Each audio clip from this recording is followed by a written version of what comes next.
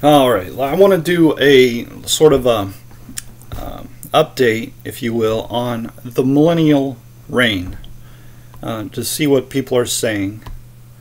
And let's do it this way. Let's just go here. There's one video in particular that I, uh, one YouTuber in particular, this guy right here, Robbie Blankenship and I want to take a look at what he has to say. And I'm not gonna, you know, he goes in, does an hour, and he he's quite regular on talking about this idea of a millennial reign. And it's interesting to me because there's nothing in the Bible that suggests this idea that Jesus reigns a thousand years. It's not found in the Bible. So he's going to go uh, take a look at Amos 9, and we'll take a look at it too. Good evening. My name's Robbie Blankenship. I'm with The Voice of Truth, and tonight you're watching me on Luke YouTube Live, or if you're seeing it again, um, a replay, you may be seeing me on Rumble if you're on this station. All right, and it's interesting He's got a Bonita Beach, Florida shirt. That doesn't mean nothing, but it's just interesting. The last time I I looked at one of his videos, he had a he had a California shirt on. Now he's got a Florida shirt on.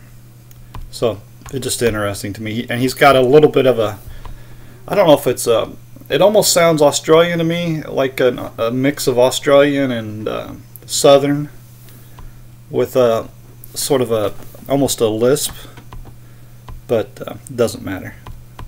I don't know where he's from. It's like he gave me this ministry, the voice of truth. I still call it the, as computers. They're man-made. They have flaws, especially when man messes up and they delete stuff. But we're looking again at chapter 9, verses 11 through 15. And I'll read you what it says. All right, so he's going to. In that day. In that day. So he's going to read Amos 9 and so I'm going to I'm going to read it. All right, we're not going to listen to him. We're just going to fast forward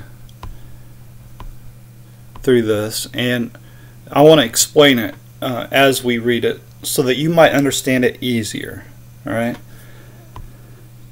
It, this is very important. So let's get into this. And uh, Amos chapter 9, and I saw the Lord standing upon the altar and he said, Smite the lintel of the door, that the post may shake, and cut them in the head, all of them, and I will slay the last of them with the sword. He that fleeth of them shall not flee away, and he that escapeth of them shall not be delivered. Though they dig into hell, thence shall mine hand take them. Though they climb up to heaven, thence will I bring them down. And though they hide themselves in the top of Carmel, that's a mountain, Mount Carmel, I will search and take them out thence. And though they be hid from my sight in the bottom of the sea, thence will I command the serpent, and he shall bite them. And though they go into captivity before their enemies, thence will I command the sword, and it shall slay them. And I will set mine eyes upon them for evil and not for good. Let me just sort of, while I got a chance here, make a, a comparison here. It says, uh, And though they be hid from my sight in the bottom of the sea, thence will I command the serpent. All right, let's just make a quick comparison here. I don't want to leave nothing un unnoticed here. It just if you're able to connect the dots, uh, it always helps when it comes to understanding, uh, in my opinion. So we have the dragon, that old serpent, which is the devil and Satan. He's bound for a thousand years, and then at the end of the thousand years, he is loosed. And he, the reason he's loosed is so that he will go out and deceive the nations, and he deceives the nations by gathering them together to battle. So, in essence, God is commanding the serpent. And we see another example of this here. Thence will I command the serpent, and he shall bite them. Okay, so I read verse 4. Let's go to 5. And the Lord God of hosts is he that toucheth the land, and it shall melt, and all that dwell therein shall mourn, and it shall rise up wholly like a flood, and shall be drowned as by the flood of Egypt. So this, let's make another uh, comparison here where it says uh, the land shall melt. And we could probably find a couple of them, but I just want to show one. And uh, let's go to First Peter. Oh, what is that verse here? I can't remember nothing. Second Peter. Uh, but in the day, but the day of the Lord will come as a thief in the night. Night, excuse me, in the which the heaven shall pass away with a great noise, and the elements shall melt with fervent heat. The earth also and the works that are therein shall be burned up. All right, so, anyways, uh, that's sort of a comparison verse, right? And it shall melt. The God will touch the land; it shall melt, and all that dwell therein shall mourn. And we, of course, we read in, like for example, Matthew twenty-four. And again, I'm going to contend that Matthew 24, Jesus explains the end of the world better than anybody. And you really want to know about the end of the world, know Matthew 24, Mark 13, and Luke 21. Now, Revelation does not contradict anything that Jesus says at all.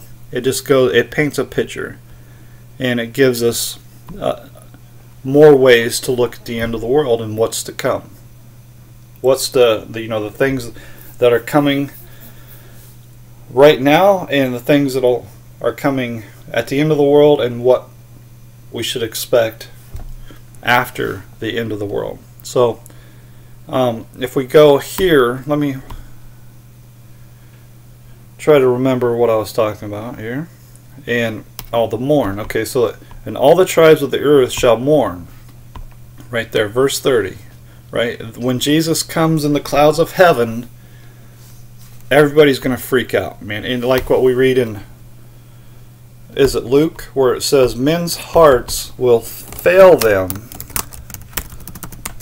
for fear for what is about to come upon the earth. Men's hearts failing them for fear and for looking after those things which are coming on the earth, for the powers of, the he of heaven shall be shaken and your cell phone's going to stop working. Man, how terrible is that going to be for those that aren't saved, right? All right, so anyways, let's keep going. It is he that builds his stories in the heavens and has founded his troop, which is his people, in the earth. He that calls for the waters of the sea and pours them out upon the face of the earth. The Lord is his name, the Lord Jesus.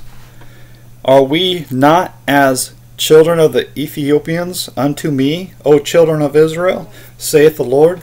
Have not I brought, excuse me, have I not brought up Israel out of the land of Egypt, and the Philistines from Caphtor, and the Syrians from Kir? Behold, the eyes of the Lord God are upon the sinful kingdom, and I will destroy it from off the face of the earth, saving that I will not utterly destroy the house of Jacob, saith the Lord. And then we can go to uh, Luke chapter 1, verse 33 and see, and he shall reign over the house of Jacob forever, and his kingdom there shall be no end. So we can make a connection right there and completely destroy the idea that Jesus reigns for a thousand years. It's not in the Bible, and it's totally contradictory to what we read over and over again in the Bible. So, anyways, for lo, I will command, and I will sift the house of Israel among all nations, like as corn is sifted in a sieve, in a sieve, excuse me. Yet shall not the least grain fall upon the earth. All the sinners of my people shall die by the sword, which say, The evil shall not overtake nor prevent us.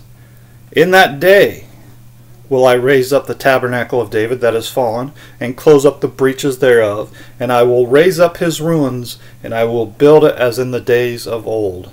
All right. This is important to understand because people just want to take anything and just try to confuse it and confuse you because they are confused and they don't know.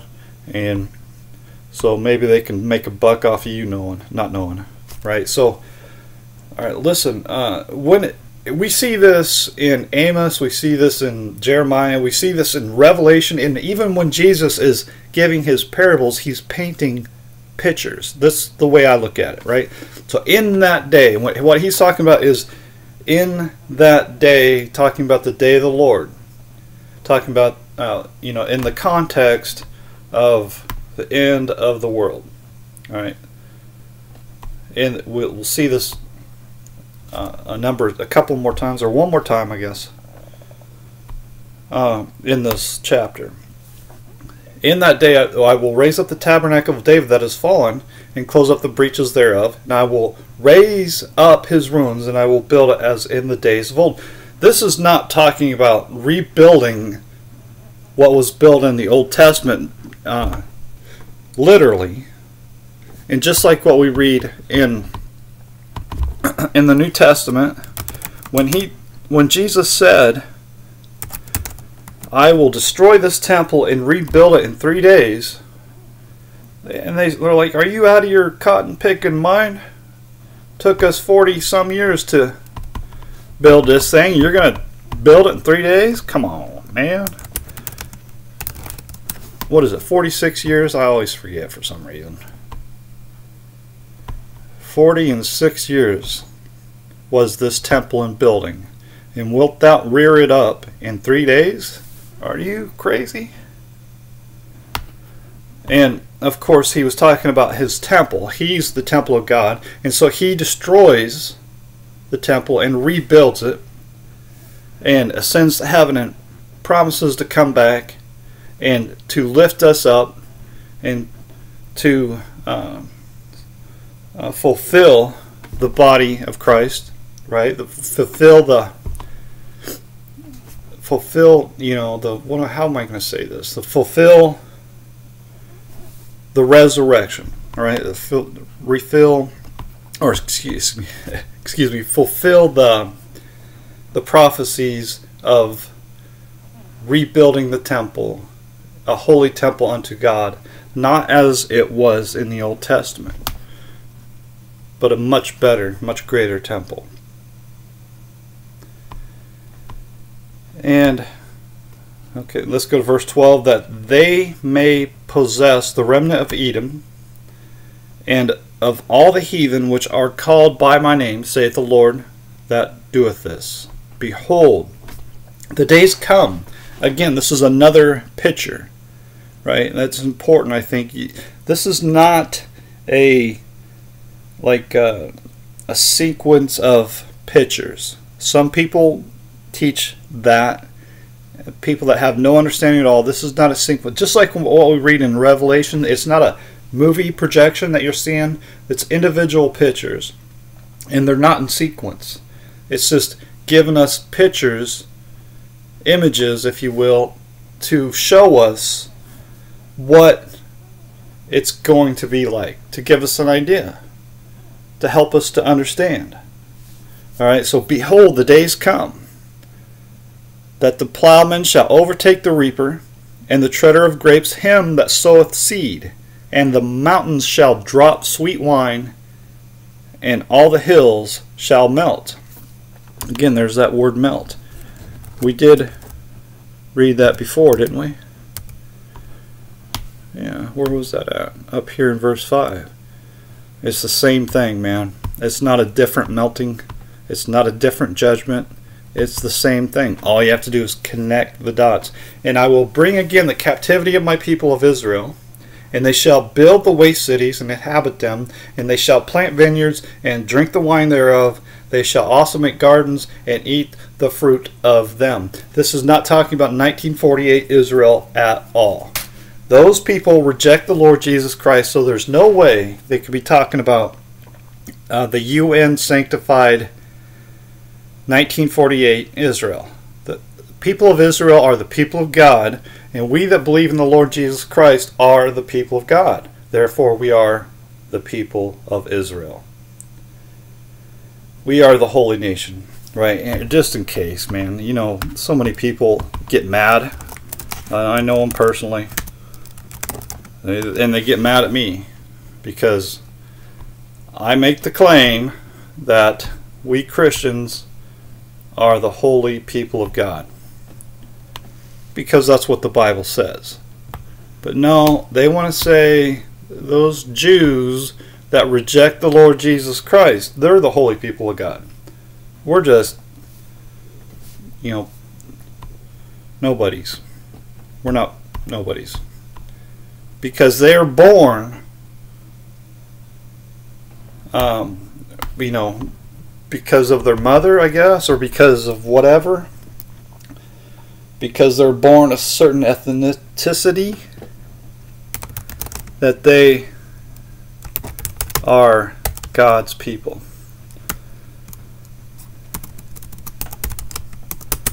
And so, I mean, we could. Oh my goodness.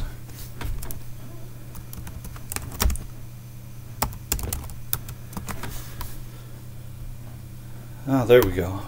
Okay. Therefore, by the deeds of the law, there shall no flesh be justified in his sight. So the law doesn't save anybody, nor, let's go this way. So, and they don't even abide by the law. The Old Testament, well, they don't. Are they sacrificing? Are, are they burnt, make, giving burnt offerings? And are them burnt offerings equivalent to the offering that God has made when He offered His Son, Jesus, on the cross to pay for our sins once for all? Not even close, right? Alright, so flesh and blood inherits the kingdom of God. Now this I say, brethren, that flesh and blood cannot inherit the kingdom of God. Neither does corruption inherit incorruption. So it doesn't matter what if you're born black, white, yellow, green, doesn't matter. What matters is being born of God. Just like what we read in John chapter 3. Verily, verily, I say unto thee, except a man be born of spirit. What is that verse? I can't remember now. Except a man be born of water and of spirit, he cannot enter into the kingdom of God. And then up here, except a man be born again, he cannot see the kingdom of God. And the and seeing the kingdom of God and entering the kingdom of God is the same exact thing. Just connect the dots. Don't let nobody try to separate them. Then you see kingdom of heaven, kingdom of God, it's all the same thing. Don't let no man deceive you. Okay, let's continue. Here, uh, did I read the last one here? And I will plant them upon their land, and they shall no more be pulled out of their land which I have given them, saith the Lord thy God.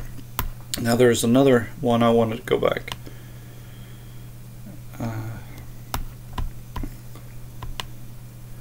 Oh no. Right there. And they shall no more be pulled up out of their land. Alright, so that, I think that's that pretty much covers it. So um, we're going to continue to listen to Robbie Blankenship give his description. Okay. I just want to make it clear and simple to see that this is all these in those days. Behold, the days come this is talking about where we can put our hope. And our hope is that uh, in this time that's coming, when there is no more evil, no more wickedness, there aren't wicked people around us. We're not wicked. And really, when it comes, when you boil it right down, um, you can almost deal with all the wickedness in the, in the world, but it, the one wickedness you have to deal with the most is your own right? And it can be the most challenging.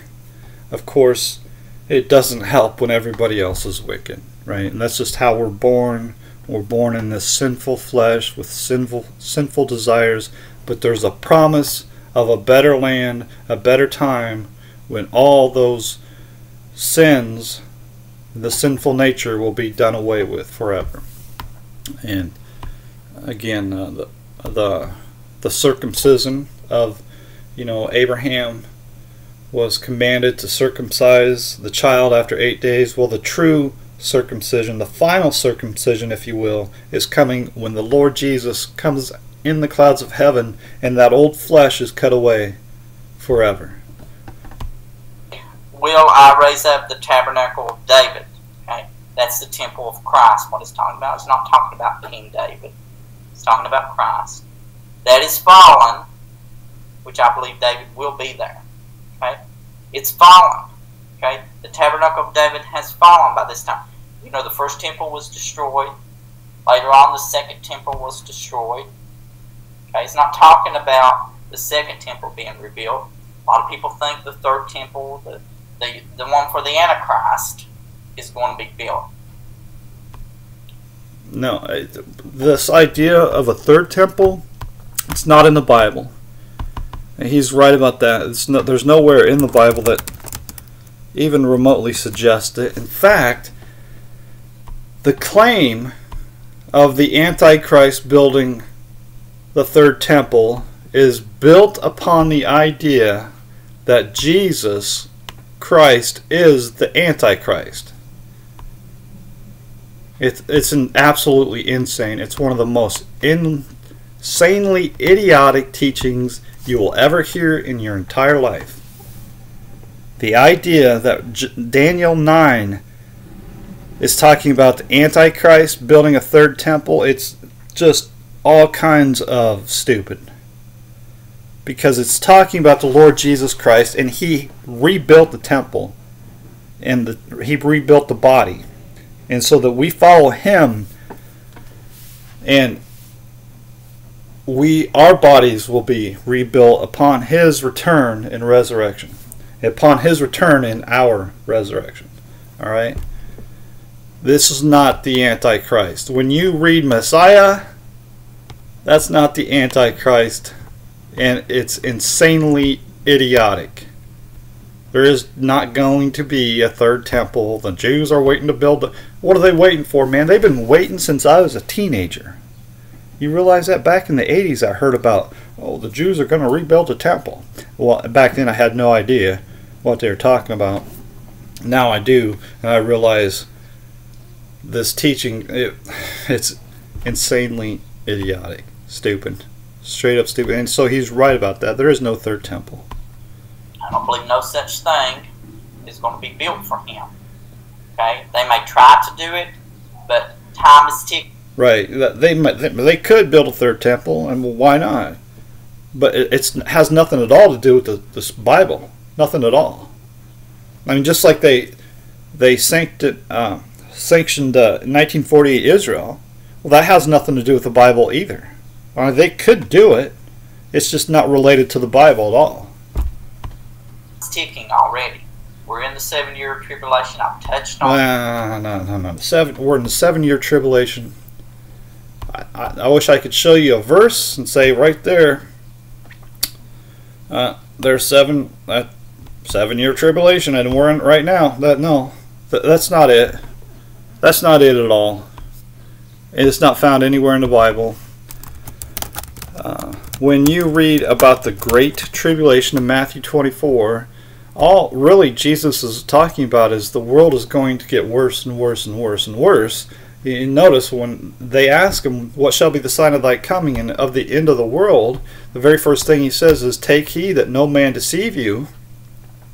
And he gives all these warnings of all these things that are going to happen, and it's just going to get worse and worse and worse. And but don't fret, you know, uh, because God is watching all the time. He knows exactly what's happening. He knows exactly what He's doing. But it's interesting here in Luke 18, he he says, "I tell you that He will avenge them speedily.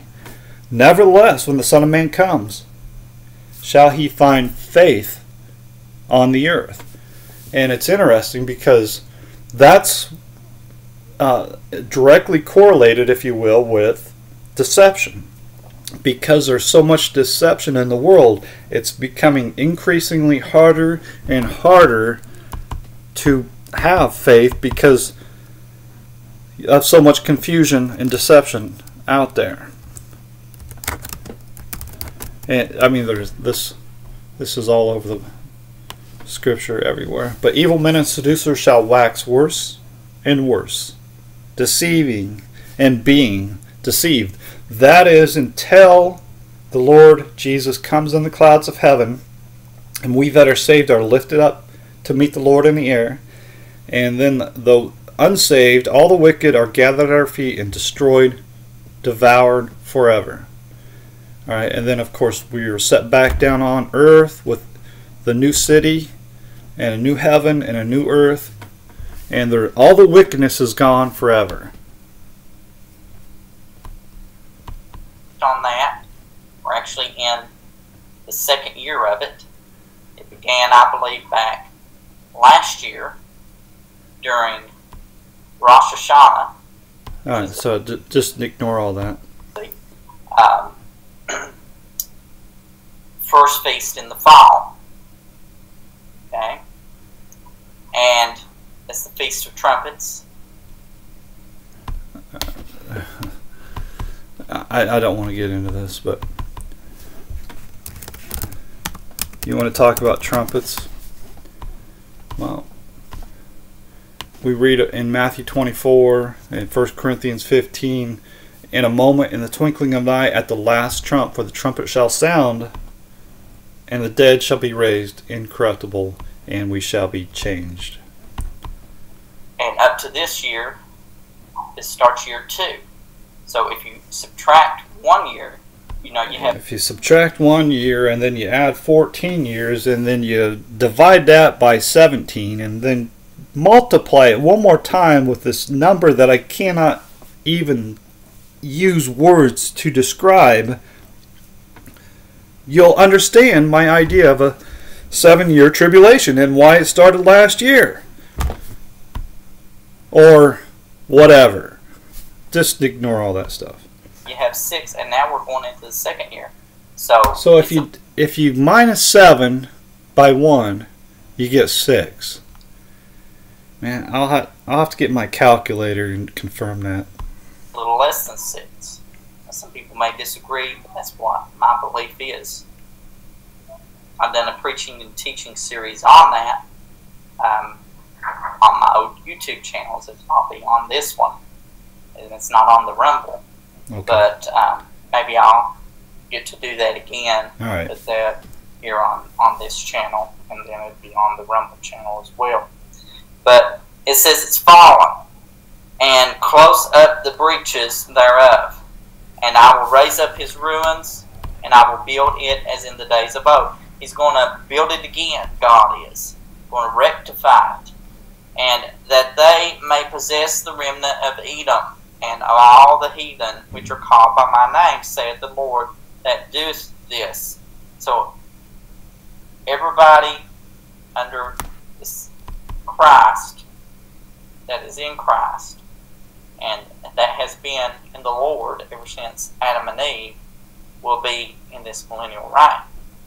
And All right. So just so you're paying attention, everybody that is in Christ since the beginning of the world is going to be in this millennial reign. That's not true at all. That's just he just pulled that out of thin air. 'Cause He he didn't pull it from the Bible because he can't. It's not in the Bible. But listen, keep listening. and also there's going to be people that did bad things that came to the Lord. Oh, that wait a second. He's making a distinction between people that come to the Lord and a s- um, the assumption is that they're good. They never did bad in their life, and then there's people that did bad and came to the Lord. And that see that right there, man. I got a problem with that, man. Big problem.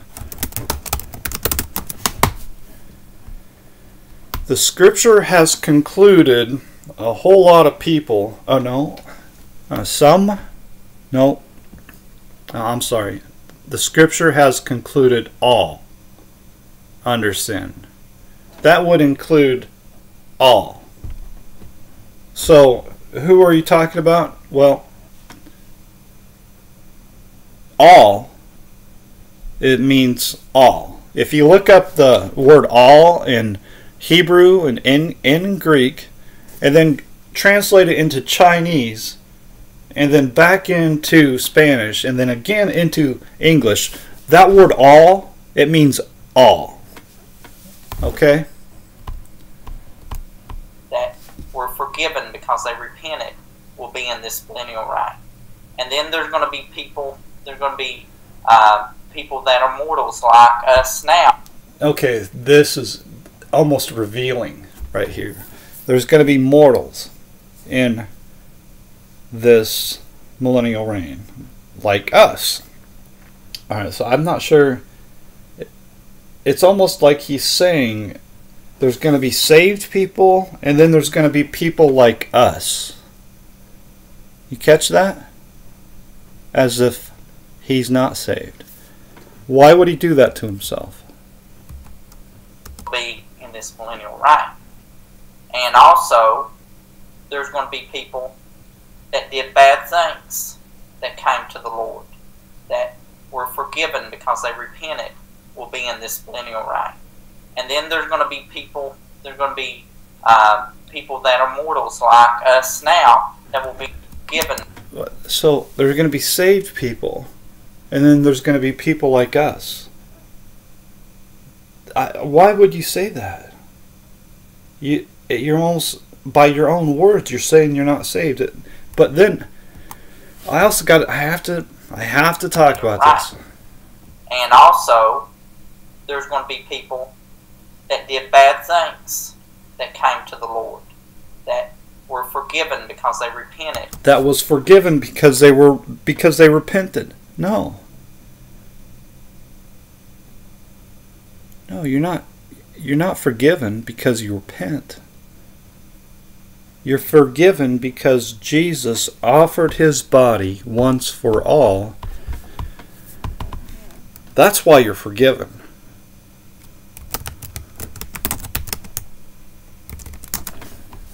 For by grace are you saved through faith. By grace are ye saved through faith. Now, by the which will we are sanctified through the offering of the body of Jesus Christ once for all. We're forgiven because of what because Jesus laid down his life for us. Not because, oh, I repent. That's not an offering to God, man. That offering is not of any value whatsoever. Will be in this millennial right, And then there's going to be people, there's going to be uh, people that are mortals like us now that will be in that millennial reign that they're going to have a choice either to serve God or, or not serve God. Now, isn't that interesting? We have today that choice. So what changed? So I'm telling you, this is a zombie doctrine. Let me explain that. Let me explain that after I show you this verse here. It's I got a, a picture that hangs on the on a wall. And I'm sure you've heard this verse. And if it seem evil unto you to serve the Lord, choose you this day whom ye will serve, whether the gods which your fathers served that were on the other side of the flood, or the gods of the Amorites, in whose land ye dwell. But as for me and my house, we will serve the Lord. All right. So um, I forgot what I was going to show you. That will be in that millennial reign that they're going to have a choice either to serve God or, or not serve God, and the heathen will be there. All right, this, yeah. So the, this is a zombie doctrine, like I, I've talked about. So you're going to have the scenario where you're going to have people that are changed, like I showed you, changed in the twinkling of an eye. See, when Jesus comes, we are lifted up in the air Let's do it this way. in a moment, in the twinkling of an eye, at the last trump, for the trumpet shall sound, and the dead shall be raised incorruptible, and we shall be changed. Now, what these guys are teaching is this idea that we are going to be changed into our incorruptible, immortal bodies, and we're going to be living among unsaved people that are in these uh, in the mortal bodies that they're in now, right? And so they're going to be like zombies, I guess. But we're going to be sticking our finger at them. They can't help it but be sinners. Just like I showed you, God has concluded all under sin. And so, therefore, when we are changed, we are pure as it gets. We have no more sinful desires, right? And so, why would God do that to us? Why, why would God do that to them? Uh, these guys are all under sin, and they're going to be living among us that are changed, that are. It's, I mean, the prob- the biggest problem I have with that is that you're saying just wait until Jesus comes. When you see him come, then you can start believing in him. All right, this and this goes back to Thomas. Now I should I shouldn't drag this out too long, but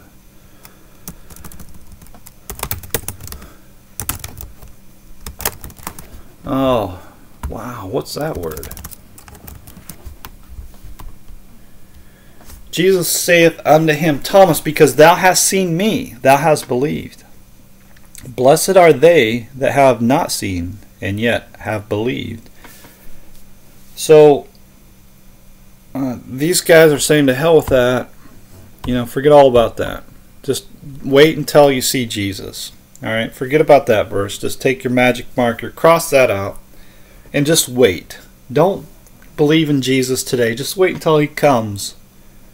And then you'll see him for yourself, and then you can start believing. Well, the problem with that is that is as, as wicked a doctrine as any man could teach. That comes from Satan himself and not from God. And that's why I have such a big problem with this idea of a millennial reign, a thousand year reign of where Jesus reigns for a thousand years. So, uh, it, one, it suggests that Jesus stops reigning. That he, uh, and that uh, it also suggests he's not reigning right now. And then you're teaching people to wait to believe in Jesus. And by teaching them to wait, you're damning their souls to hell because when Jesus comes, it's the end of the world. There are no more second chances after that. Your second chance is right now. It's today. Today is the day of salvation. Today is the time to believe.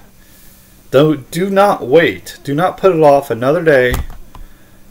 And for the love of God, do not teach others that they can wait because they can't. All right.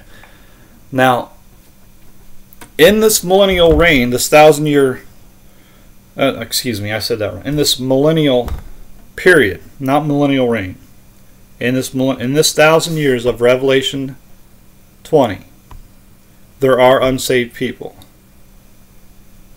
Right now, today, there are unsaved people. In this thousand years, there are saved people. Right now, there are saved people. Are you connecting the dots? Right? So in Revelation 20 it says, They shall be priests of God and of Christ, and shall reign with him a thousand years. Not Jesus reigning, but we that are saved reign with him during this time period. Alright? And we are priests of God right now. Because we believe in the Lord Jesus Christ. Ye also, as lively stones, are built up a spiritual house and holy priesthood. But ye are a chosen generation, a royal priesthood. We are a royal priesthood, a holy nation, a peculiar people right now. Just got to connect the dots, man. They shall be priests of God and of Christ. That's what we are. We that are saved right now are priests of God and of Christ. Right now. We reign with Christ right now. All right, the reason why this is a unique time period is because we are born of God. The Lord Jesus Christ has offered his body and resurrected and ascended to heaven. And all this comes to a close at his return. He's he has ascended he, and he's promised to return and he ascended and he's going to return. So this is a unique time period from the time of baby Jesus to the time of his ascension, if you will. From the time of his birth, death, resurrection, and ascension. It's a unique time period. Right? And so when he returns, everything is going to be changed. The whole world is going to be different. And everything is going to be new. Let's see. Oh, I can't find a verse to save me. I, I got to start reading the Bible a little bit. Right here, Revelation 21, verse 5. And he that sat upon the throne said, Behold, I make all things new. He's going to make everything new. New heaven, new earth, whole, our whole way of living, no more sin. I mean, just the just the fact that there's no more sin is mind blowing. All right, it's going to completely change everything. Imagine living in a world where there was no wickedness at all. It would be vastly different than what we see today. Incredibly different. And I don't think we realize it because we're in the middle of it. You know, I just think we're so used to it, it just seems normal to us. But what's going on in the world is not normal. And I just, I just want to sort of shine a light on these sorts of ideas that well when jesus comes nothing's going to change. Except the saved are going to be changed. There's still going to be wickedness. And then the implication is at the end of the millennial reign jesus stops reigning. What happens? Evil takes over? Yeah, it's just utterly ridiculous man. It's utterly ridiculous. I just want to shine a light on this so you can see for yourself how utterly ridiculous this idea that Jesus Christ reigns for a thousand years. It is, right? It, again, I'm going to go and I'm going to sound this trumpet over and over again. You cannot hide from this verse. You cannot ignore it. Luke 1, verse 33 And he shall reign over the house of Jacob forever, and of his kingdom there shall be no end.